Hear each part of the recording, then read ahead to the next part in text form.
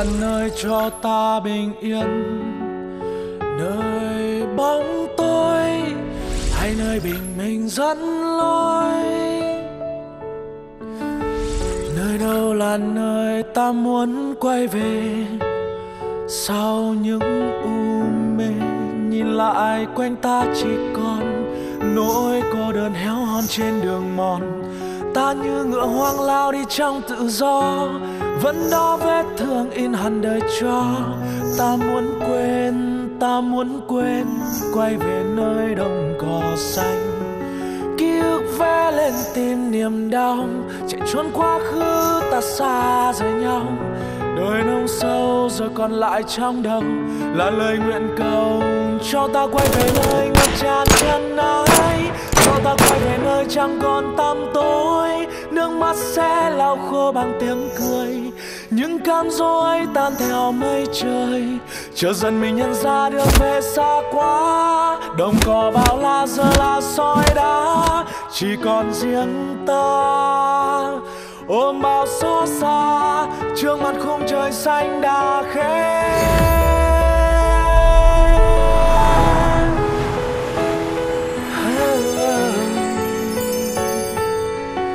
Trước mặt khung trời xanh đã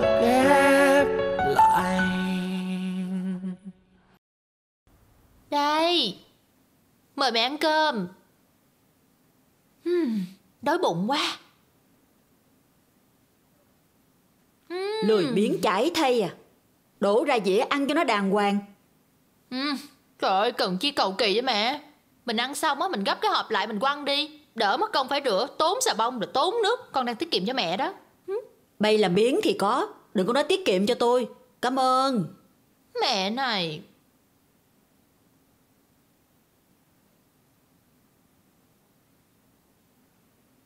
Cơm gì mà khô như củi à? Làm sao mà nuốt trôi? Con thấy ngon mà. Mà với lại cơm này chỉ là cơm bình dân thôi. Nếu mà mẹ muốn ăn chỗ sang trọng á Thì con sẽ đi mua cho mẹ. Nhưng mà mẹ phải chi tiền nha. Ăn uống như vậy á làm sao mà sống cho nổi? À hay là mẹ kêu anh Quý về đi. Chở hai mẹ con mình đi ăn. Sáng nay nó đi không nói một tiếng. Biết nó ở đâu mà kêu. Có khi nào Ảnh về nhà bên đó không mẹ? Ờ cũng có thể. Nhưng mà Hai người họ đang giận nhau mà. Anh Quý sao qua đó được hả mẹ? Ừ cũng có lý. Vậy giờ thì nó ở đâu ha? Trời ơi, tự nhiên mẹ hỏi con, sao con biết được? Thôi con ăn cơm no bụng trước đã rồi tính.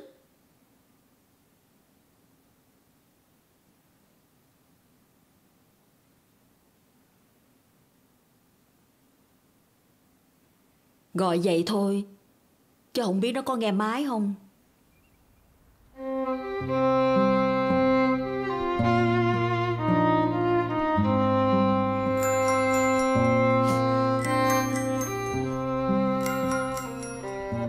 Ai gọi điện thoại kìa Anh nghe đi ừ.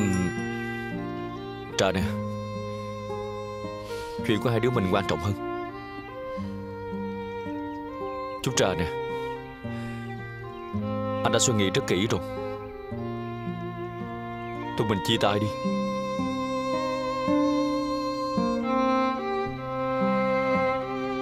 Em đã làm gì sai?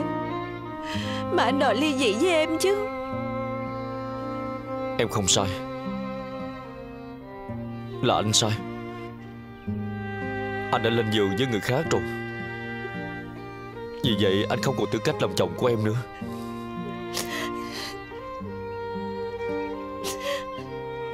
Là anh sai. Anh sai thì tại sao anh không chịu sửa sai? Tại sao lại bắt em phải gánh chịu hậu quả nặng nề như vậy? Anh đẩy em ra khỏi cuộc hôn nhân. Tại vì cái sai của anh hả?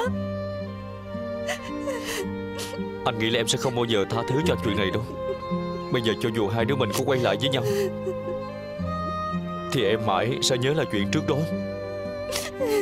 Tốt nhất là Tụi mình nên ly hôn đi.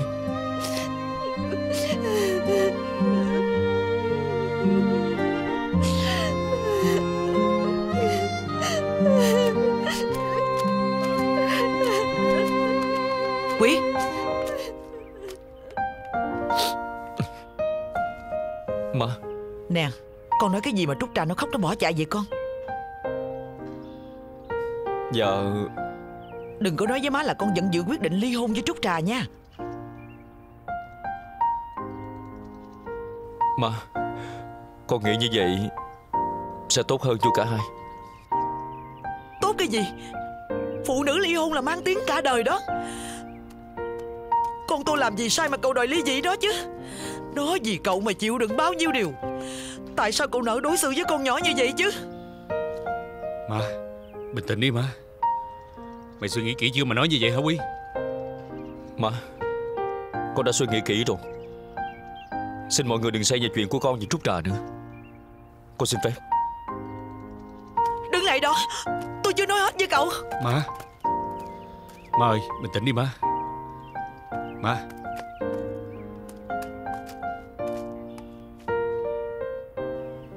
Nếu chuyện hôn nhân của mình đổ vỡ Liệu má có đau lòng như chuyện của Trúc Trà không? Trời ơi là trời. Không biết con nhỏ làm nên tội tình gì. Mà sao đời nó khổ quá vậy? So với những gì mình đã chịu đựng Thì chuyện của Trúc Trà có đáng gì? Sao mọi người lại có vẻ đau khổ và lo lắng thái quá như vậy? Bình tĩnh đi má Tạm thời cứ để cho Trúc Trà ở đây. Con sẽ gặp thằng Quý Khuyên nó suy nghĩ lại. Chuyện của vợ chồng nó để nó tự giải quyết. Anh đừng có can thiệp sâu quá làm gì. Em nói vậy mà nghe được sao? Giảng hòa cho hai vợ chồng nó là trách nhiệm của mình phải làm. Nhìn Trúc Trà đau khổ như vậy Cả nhà mình vui được à? Vậy rốt cuộc Anh hạnh phúc Anh vui buồn Anh đau khổ Đều lệ thuộc vào cảm giác của người tình cũ của anh đúng không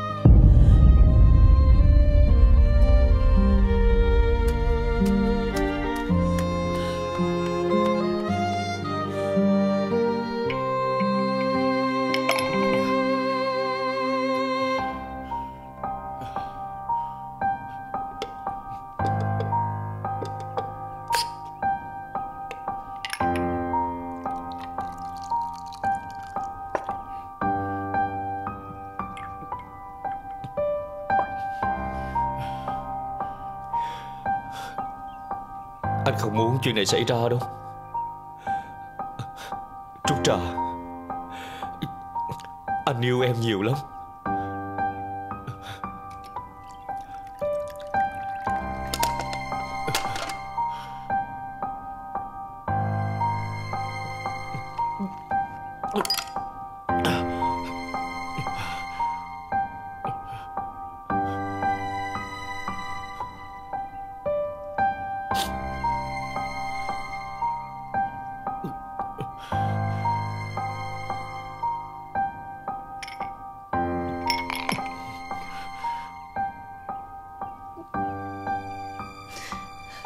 Ly dị. Tại sao anh lại quyết định như vậy chứ?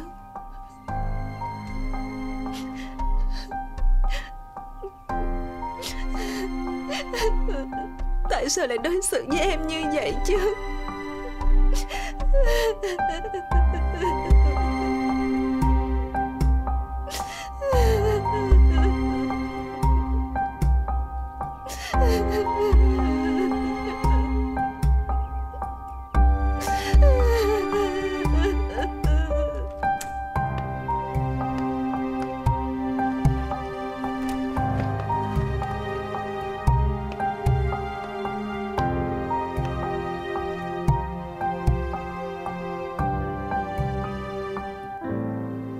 Nói sao cho em hiểu.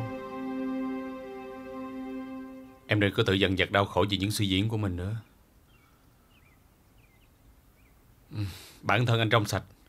Anh thấy mình không có làm gì có lỗi với em hết.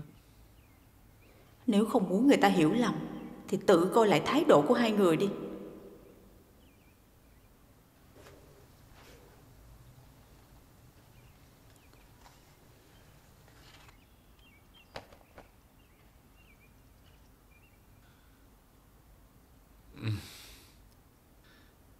Bây giờ anh phải lên Sài Gòn giải quyết công việc.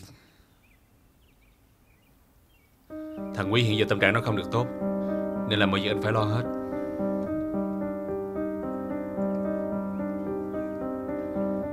Anh đi nha. Khi nào em hết giận, anh sẽ gọi điện cho em.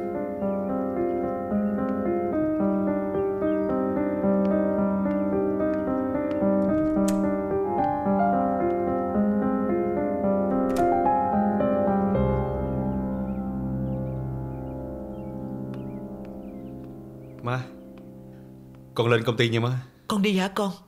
Dạ. Ở trển cũng nhiều việc. Nhưng quan trọng là con không nên có mặt ở nhà lúc này má Chiêu Dương cứ ghen bóng ghen gió với Trúc Trà hoài Con cũng thấy khó xử quá. Má hiểu. Thôi con đi đi. Dạ. Má ở nhà giữ gìn sức khỏe nha má. Má coi lựa lời an ủi Trúc Trà Cũng để ý Chiêu Dương giùm con. Giờ con rất nhạy cảm Nên đừng để cô ấy hiểu lầm. Con. Dạ Con nhớ khuyên thằng Quý Đừng để sai lầm này Mà làm hai đứa khổ cả cuộc đời về sau Dạ con biết rồi má. Má nghỉ ngơi đi. Ừ, Đi đi Dạ con. con đi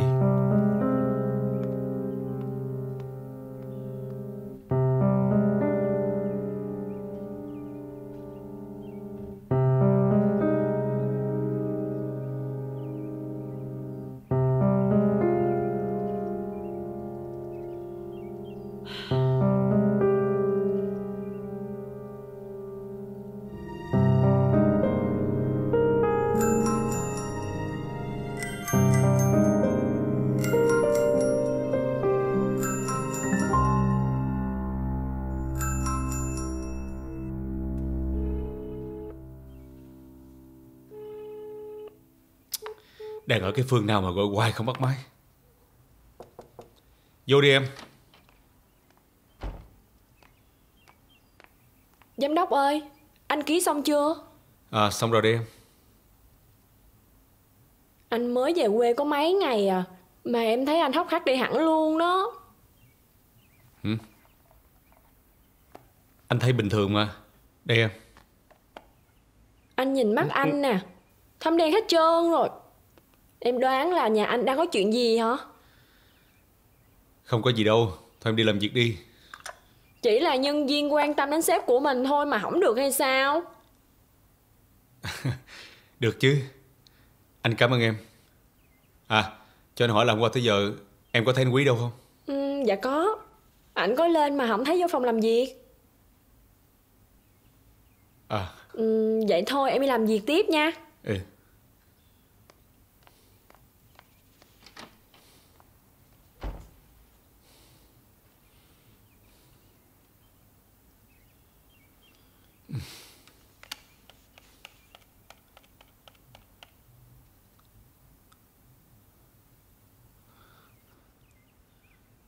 À anh Út Tiến độ sản xuất đơn hàng mới sao rồi anh? Đầy cái giỏ này là xong rồi đó chị. Rồi bây giờ hàng Long An đủ rồi. Mọi người nhanh tay lẹ chân đóng hàng lên thành phố nha. Dạ. Chà, hôm nay mình làm nhanh quá ha mợ? Nhờ có chút trà phụ nè. Chị nói quá à, em có làm được cái gì đâu. Là cô giáo á Mà cô làm được như vậy là tốt lắm rồi đó. Em bỏ nghề giáo lâu rồi mà chị cho dù em có bỏ nghề á, Thì chị cũng nhìn ra được em là cô giáo. Người gì đâu mà hiền lành, nết na ghê à.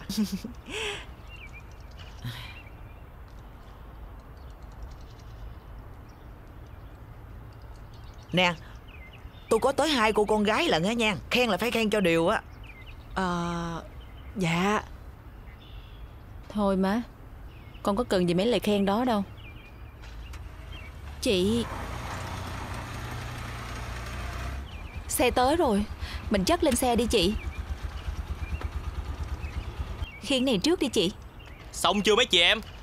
Tôi chạy tranh thủ rồi chiều nay tôi còn đi đám cưới nữa đó. À, Lên rồi, nè. rồi. Rồi rồi. Nhanh từ nào từ chị từ lên từ con Phụng đen dắt Lên, lên, lên. thôi nó hối à. Rồi, cái Em á này thì nữa. dễ thương bao nhiêu Còn bà chị thì khó ưa bấy nhiêu. Người gì đâu mà lạnh lùng xa cách à.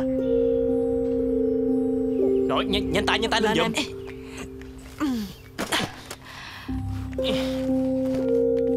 Chiêu Dương, Chiêu Dương. Con đừng nghe những lời bàn tán của mấy người ngoài kia nha. Mấy người nhà quê sao nhiều chuyện quá vậy má? Nói nhỏ thôi con. Người ta nghe được người ta tự ái đó con.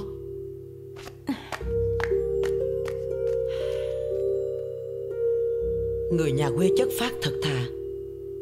Sao nó không thể hòa nhập với người ta được chứ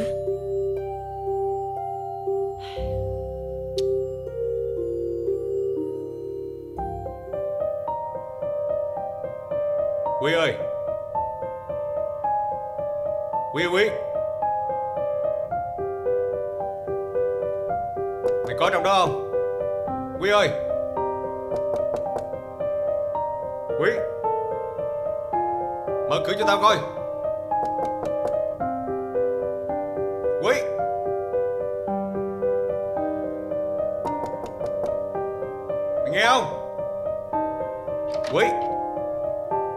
Quý Trời đất. Có phải mày không vậy Quý? Mày làm gì đập cửa rầm rầm vậy.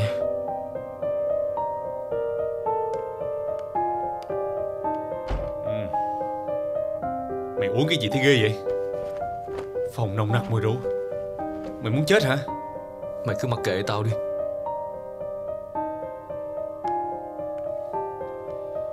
Mày dùng rượu giải quyết vấn đề sao Chứ bây giờ ngoài say ra Thì tao còn biết làm cái gì nữa. Mày ngồi dậy nói chuyện với tao. Mày ngồi dậy nói chuyện với tao. Rửa mặt đi uống cà phê với tao Rồi tính cách. Tao nói rồi. Mày mặc kệ tao đi. Hồi trước tao xảy ra chuyện Mày có bỏ mặt tao không? Bây giờ mày gì Sao tao bỏ mặt mày được? Đủ rồi nha. Lẹ mày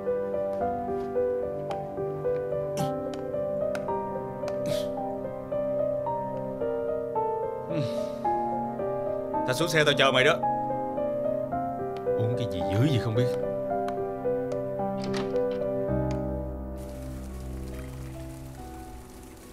Mày có trách tao khi tao hành xử với mày vậy không?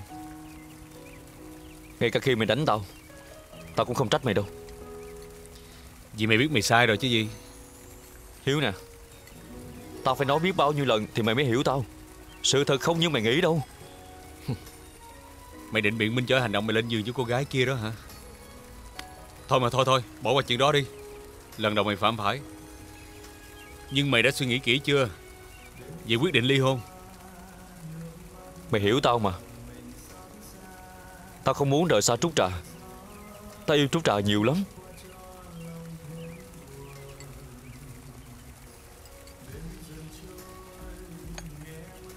Mày làm như vậy là rất tàn nhẫn với Trúc Trà mày biết không Tao có thể ngầm hiểu. Mày không muốn Trúc Trà vì chuyện con cái Mà bị áp lực với mẹ mày mỗi ngày. Nhưng mà chia tay kiểu như vậy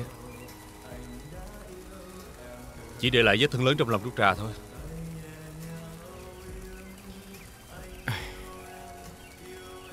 Tao là bạn thân của mày. Mày có tin tao không? Trước kia thì có Nhưng bây giờ Xin lỗi mày. Tao bị gài Ai gài mày? Mẹ tao chứ ai? Trưa hôm đó đó Mẹ tao sai chút trà đi hút thuốc bắc. Rồi kêu tao vô phòng mẹ tao. Rồi Lý Hạ mang một chén chè hạt sen vô cho mẹ tao. Mẹ tao chơi ngọt Ép tao ăn nè. Ăn xong rồi tao ngủ như chết đó. Tao chỉ ngủ thôi. Xong rồi họ dàn cảnh để cho chút trà nhìn thấy. Chứ tao thề là tao không có làm gì cô ta hết. Tao tin mày được không? Hay là mày đang bị chuyện để chạy tội Mày nghĩ tao dám vu khống cho mẹ tao hả? Nhìn mặt mày cũng dám lắm à. Thôi Tao tạm tin mày chuyện này. Đúng là mục đích cuối cùng của mẹ mày. Là đẩy Trúc Trà ra khỏi nhà mà. Bây giờ mẹ tao thành công rồi đó.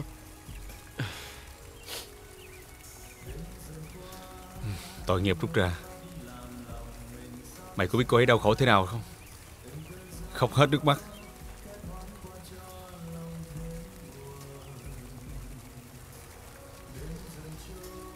Hiếu nè. Trả lời thật cho tao biết nha. Mày bất bình cho Trúc Trà. Có phải là trong lòng mày còn yêu Trúc Trà đúng không? Tao lại mày.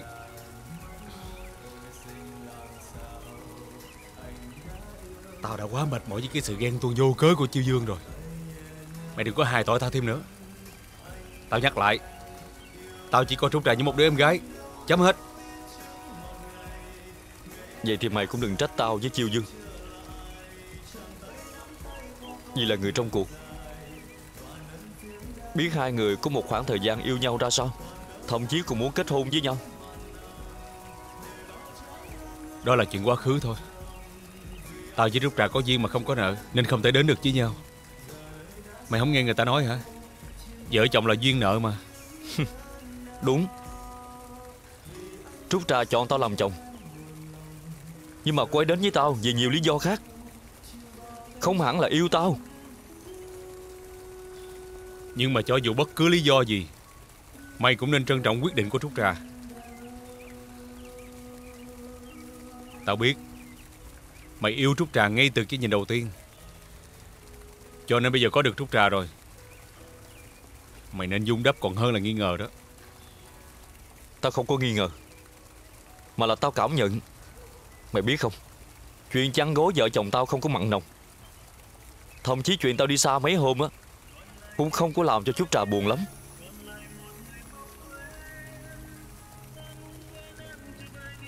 Mày bao nhiêu tuổi rồi? Phụ nữ mỗi người mỗi tính. Có người thể hiện, Có người sống nội tâm. Mày đừng có nghĩ sai cho tao với Trúc Trà mà tội.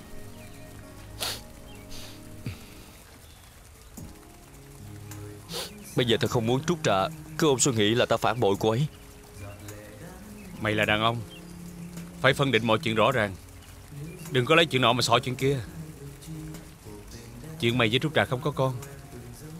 Không có nghĩa là vợ chồng mày không có được cuộc sống hạnh phúc. Nói cho tao biết đi. Bây giờ tao phải làm sao?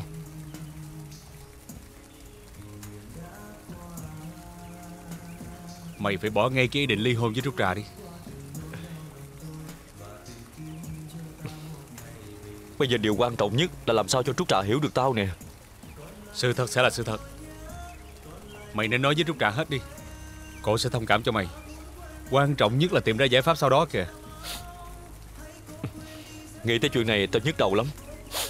Tao không biết phải làm sao hết. Bây giờ tao mắc kẹt giữa hai người phụ nữ của cuộc đời tao Một là mẹ tao Hai là vợ tao. Nếu mày không quyết liệt Mày sẽ không giữ được hạnh phúc của mày Bây giờ mày ngoài cuộc mày sáng suốt hơn tao. Mày nói coi Tao phải làm sao?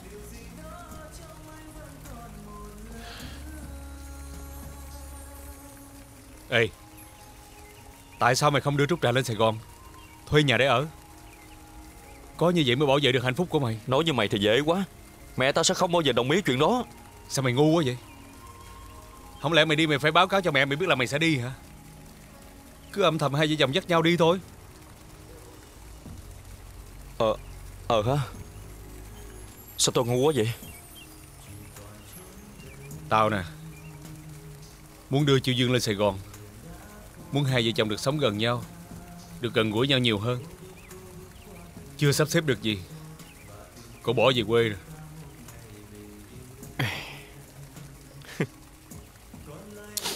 Tao thấy á Cuối cùng hai đứa mình Đứa nào cũng gặp trục trặc về chuyện gia đình Cái số nó vậy biết sao giờ? Cố lên.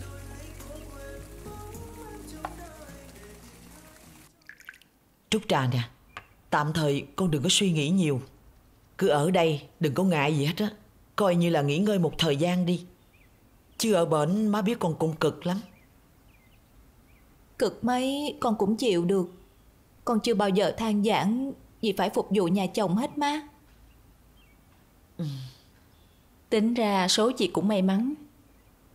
Mẹ chồng cũng là mẹ ruột, Không phải làm dâu ngày nào hết.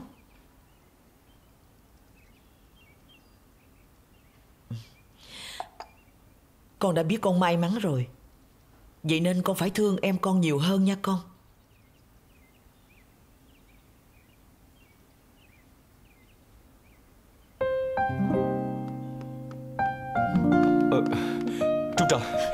Trà nghe nói nè. Nè. Anh buông ra. Cậu Trà. bước vô nhà tôi làm gì? Hả? Má Trúc Trà Để cho thằng Quý nó nói mấy câu.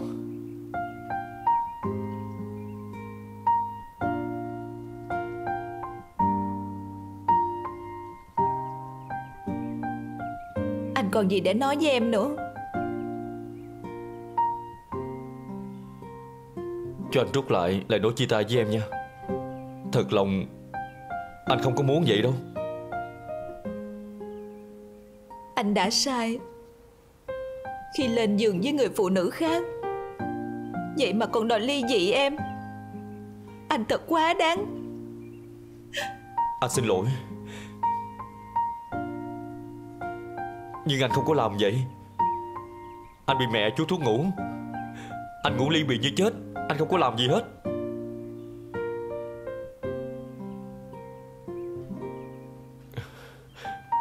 Em tin anh đi.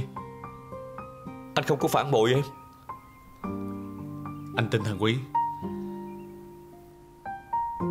Tất cả là do bác gái bên đó bày ra thôi.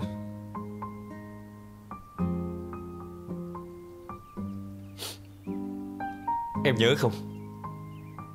Tại sao trưa nắng Mà mẹ bắt em chạy lên tận thị xã để hút thuốc. Còn không cho phép anh đưa em đi. Bà ấy thật là ghê gớm. Dám bày ra chiêu trò này để mà gài bẫy con trai của mình. Tất cả là muốn cho Trúc Trà nhìn thấy Để Trúc Trà rời khỏi nhà đó thôi mà.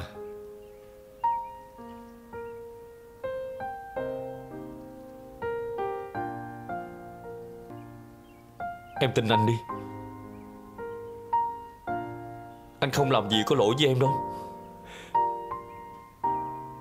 Anh nói như vậy, Chẳng qua là Anh muốn trả tự do cho em thôi. Anh không muốn vì chuyện con cái Mà em phải bị mẹ anh lập áp lực hàng ngày như vậy. Anh Anh xin lỗi.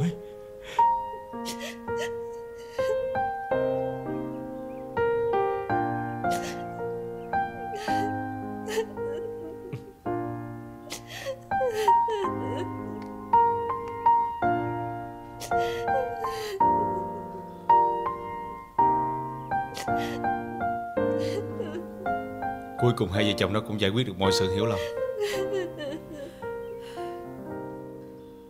Má cũng mừng cho tụi nó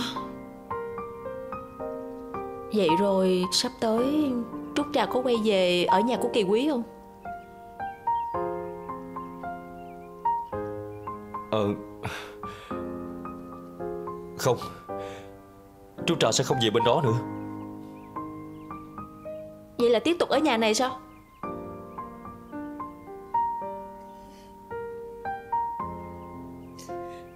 Anh sẽ đưa em đi. Anh đi đâu? Em đi đó cùng anh, Em chịu không?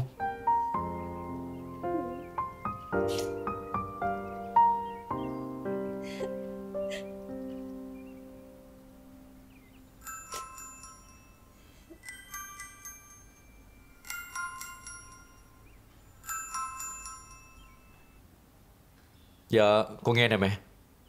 Con đi đâu mà không nói với mẹ một tiếng vậy? Mẹ Con có gì gấp? Nên con lên Sài Gòn rồi. Mẹ mày đang bệnh. Không có người chăm sóc. Mà mày bỏ đi được sao? Dạ Công việc gấp lắm. Cho nên con phải lên Sài Gòn liền đây. Vậy chừng nào con về? Con cũng không biết nữa mẹ. Có khi Con phải lên nhà máy luôn đó. Trời ơi khổ cái thân tôi. Tôi có một thằng con trai mà nó cứ đi biền biệt. Bỏ bê mẹ nó không ngó ngàng gì hết trơn à. Mẹ à con có công việc rồi. Con gọi lại cho mẹ sau nha. Dạ con chào mẹ.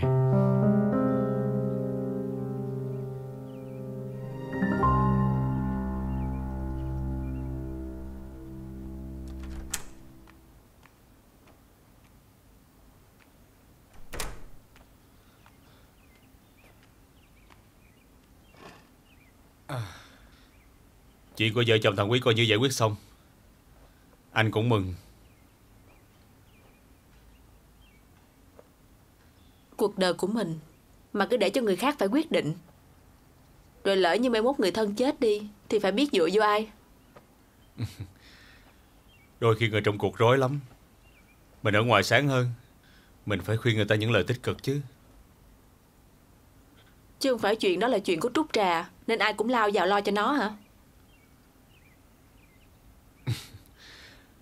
Thôi Đừng có nhắc chuyện vợ chồng quý nữa Nói chuyện vợ chồng mình đi.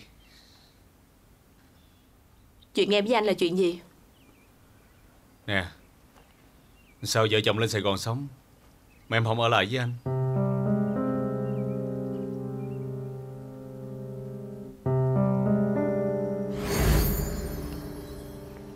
Ê tôi thấy bà vợ ông giám đốc á Hình như dạng ổng hen. Thấy bà có vẻ nghiêm á. Ừ.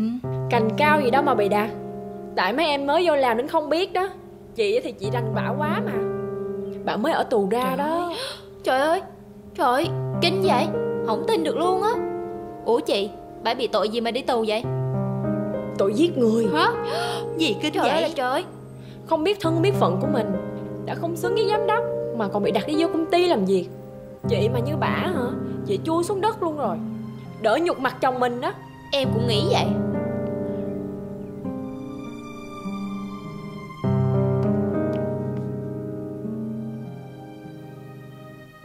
không lên đó đâu. Sao vậy? Có chuyện gì nói anh nghe đi. Em. Anh có nghe những lời đàm tiếu sau lưng về người vợ này không? Em chỉ là một con tù ở bên cạnh anh thôi. Thôi nói anh nghe đi có chuyện gì vậy? Khi nào thích hợp thì em nói với anh. Bây giờ chưa phải lúc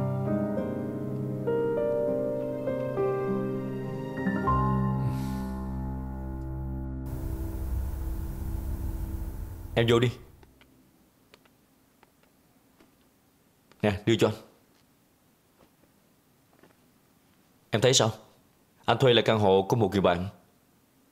Tuy là hơi nhỏ Nhưng mà trước mắt á Hai vợ chồng mình cứ sống tạm ở đây đi Rồi tính tiếp. Em không quan trọng chỗ ở đâu. Em thấy nhỏ nhắn như vậy dễ thương mà. Em nè Sao bao nhiêu chuyện đã xảy ra Bây giờ Hai vợ chồng mình phải tin tưởng nhau hơn. Cùng nắm tay nhau vượt qua giai đoạn khó khăn này nha Em biết Em biết là mọi chuyện chưa dừng lại ở đây đâu. Nếu mẹ biết anh đưa em lên đây ở Chắc chắn Sẽ có chuyện lớn xảy ra đó.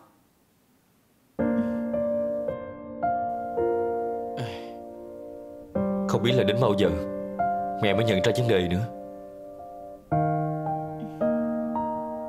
Nhưng mà có một chuyện Em thấy lo nữa. Em lo gì? Em đi rồi Không biết ai chăm sóc cho mẹ. Cô ta có biết nấu ăn Rồi có biết làm việc nhà không nữa. Em đó. Mẹ đối xử với em như vậy Mẹ em vẫn lo lắng Quan tâm mẹ hay sao? Dù gì mẹ cũng là người sinh ra anh mà. Bổn phận làm con Thì mình phải làm tròn chữ hiếu chứ anh Mẹ có một người con dâu ngoan hiền như vậy Mà mẹ lại không biết quý trọng.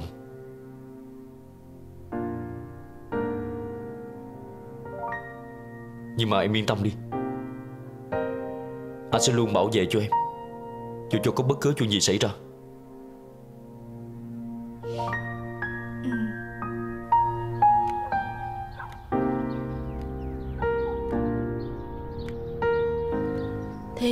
có phải là của mình không?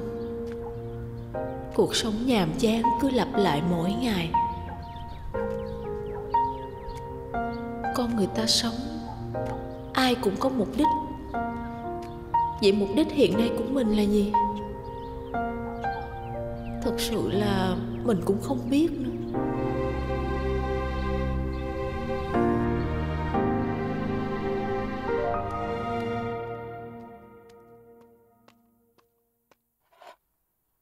Nhỏ này mới đây mà đi đâu mất tiêu vậy ta?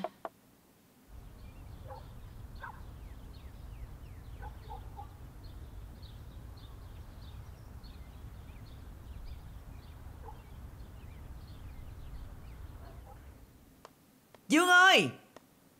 Dương à!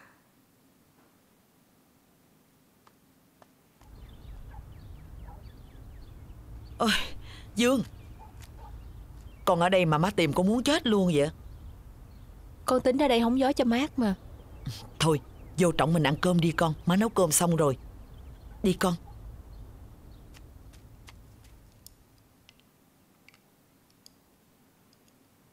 Con Món cá kho này con thích nè. Con ăn đi. Ăn đi con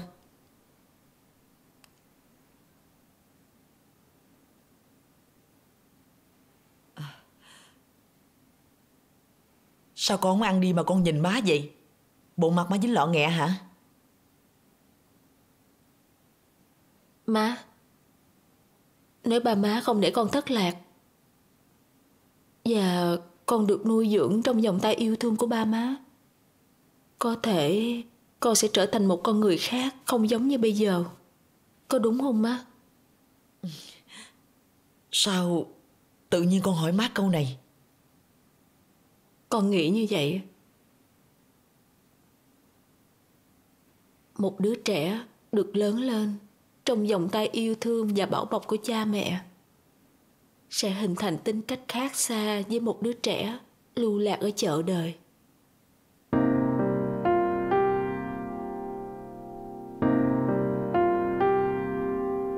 À Hiếu nè. Thứ hai tuần sau á, Là chốt hợp đồng mới. Tao với mày á, Phải có mặt ở trên nhà máy. Để mà họp triển khai. Để tao đi cho. Mày ở đây vừa điều hành công ty vừa chăm sóc cho Trúc Trà đi. Cổ mới lên mọi thứ còn xa lạ lắm. Nè Trúc Trà Đồ xin đi dạy lại Mà không biết có được không? Cổ gì chăm sóc cho mẹ tao Mà đã nghỉ dạy quá lâu rồi. Trúc Trà nói là ở nhà buồn quá. Rồi hai vợ chồng mày có quyết định ở lại Sài Gòn lâu dài không Mà Trúc Trà đòi đi dạy vậy? Tao cũng chưa biết làm sao nữa Bỏ bà già tao ở dưới quê á Tao cũng sốt ruột không yên tâm. Nhưng mà Để Trúc Trà ở đó Còn nguy hiểm hơn. Ủa chứ rồi giờ mày không có cách nào đuổi nhỏ ra khỏi nhà mày hả? Tao làm gì có quyền. Bây giờ bà biết hết. Tao nói bà không nghe á Tao cũng đành chịu thôi. Mày. Ui, Đúng là nan giải Mà bây giờ mày đứng cửa giữa cũng khó xử. Tao ráng bấm bụng kỳ này á. Đi lâu lâu mới quay về. Cho mẹ tao thấy á Là mẹ tao đã sai Khi không có ai chăm sóc. Lúc đó mẹ tao sẽ thấy thương Trúc Trà nhiều hơn. Thời buổi này Làm gì có người con dâu nào như Trúc Trà. Con gái bây giờ mấy cô chịu làm dâu Mà có thì cũng yêu sách này nọ. Chứ dễ gì mà hết lòng với nhà chồng. Thời buổi bây giờ á Tụi con nít á Nó theo tay quá hết rồi. Ai mà làm gì còn có chuyện làm dâu. Thì nó không làm dâu mày về nhà tao làm rể. Đi ăn cơm. Nè Mày đi ăn cơm đi. Tao về nhà ăn cơm với Trúc Trà. Hôm nay á Trúc Trà nấu cơm nhà chờ tao. Ừ, Tao biết mà. Có vợ mày dễ gì mày chịu đi ăn cơm với tao? Nè nè nè Ngày mai đi. Tao nói Trúc Trà làm món gì tao với mày lên ăn. Ok đi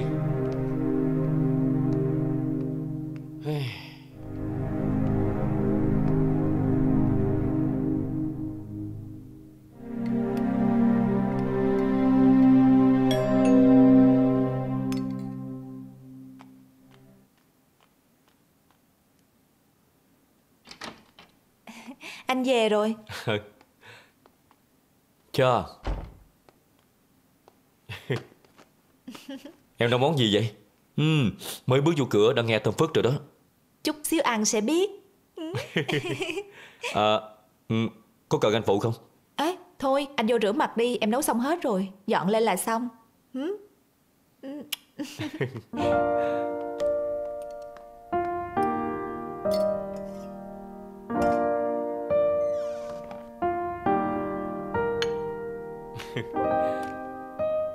Em nè Hử? Có hai vợ chồng thôi à Nấu đơn giản được rồi Em nấu quá trời món Bày biện cứ như là nhà hàng vậy đó Ăn á Vừa ngon Mà vừa phải đẹp nữa chứ Anh ăn đi ừ. Đây ừ.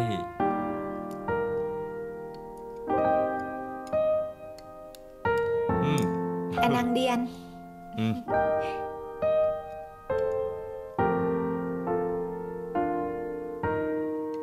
vậy? Tự nhiên anh nhớ đến mẹ. Không biết giờ này ở nhà Mẹ đang ăn gì chưa?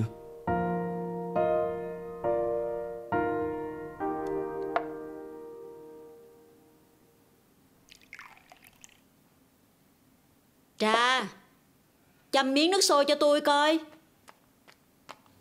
Ủa ủa ủa? Hử? Bà về hả mẹ? Là quen miệng gọi thôi Chứ nó ở đâu mà về Trời ơi làm con hết hồn Tưởng đâu mặt bà dày còn dám đứt cái mạng về đây nữa chứ Cuối cùng thì con dâu nó cũng bỏ đi. Mà con trai thì nó cũng không có ở đây. Tôi làm sao sống nổi đây trời. Mẹ, hay là mẹ gọi anh Quý về đi mẹ. Hử? Gọi vậy thôi chứ chắc gì nó về.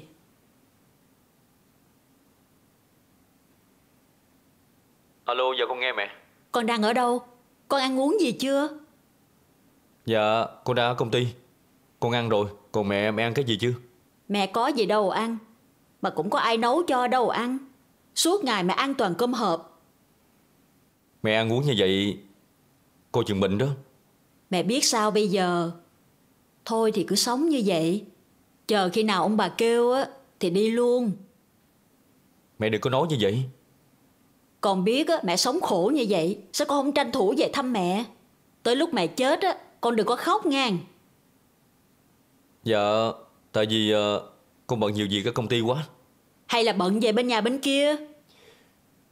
Mẹ à, Trúc Trà với nhà vợ con đang giận con về chuyện đó. Làm sao con về nhà bên đó được? Vậy bày tranh thủ dịp này ký giấy ly dị luôn cho xong cho rồi. Con nói với mẹ rồi. Con không có ly dị vợ con đâu. Nếu như không có con, thì tụi con vẫn có thể sống hạnh phúc được với nhau mà mẹ. Trúc Trà không làm gì có lỗi hết. Con không làm như vậy được. Mồ tổ cha mày Mày sống ích kỷ vừa thôi Mày chỉ biết nghĩ cho bản thân mày Có bao giờ mày nghĩ cho mẹ Cho dòng họ tổ tiên của mày không hả Mẹ à, con có gì rồi?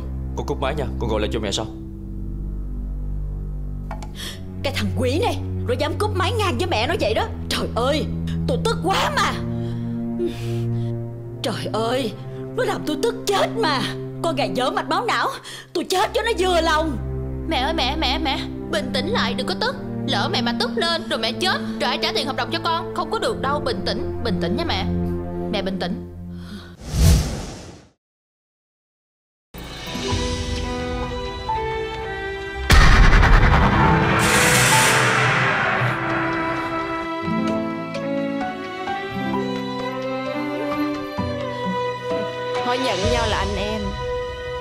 Không thể nào qua mắt em được.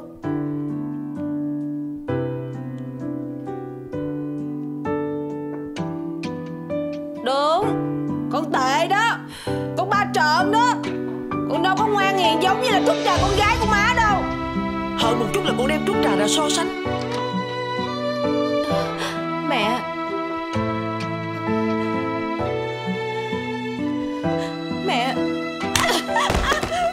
Cạm bẫy nào đã đưa em xa chốn yên bình.